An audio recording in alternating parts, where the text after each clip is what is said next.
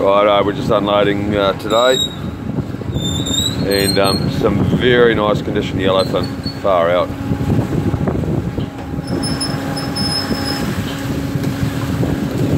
Yeah, very fat fish. So, you know, they're putting a lot of condition on, uh, coming into winter. And uh, beautiful fish.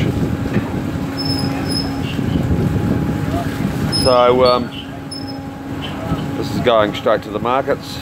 So, um, some lucky person's going to go to a restaurant and dine on some beautiful fish.